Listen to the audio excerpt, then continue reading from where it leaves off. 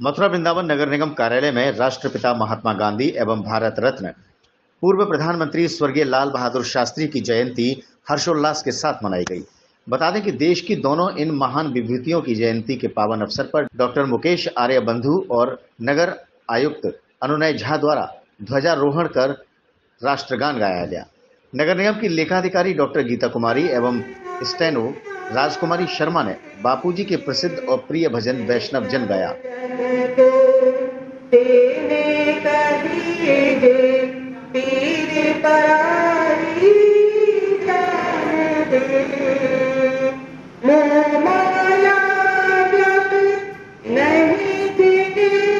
इस अवसर पर महापौर डॉक्टर मुकेश आर्य बंधु ने सभी को स्वच्छता की शपथ भी दिलाई।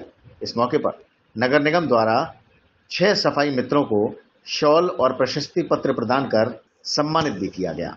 प्रीमियम क्वालिटी सम्राट केसरी सुपारी, जिसके जायके में है सुगंध और भरपूर ताजगी का एहसास।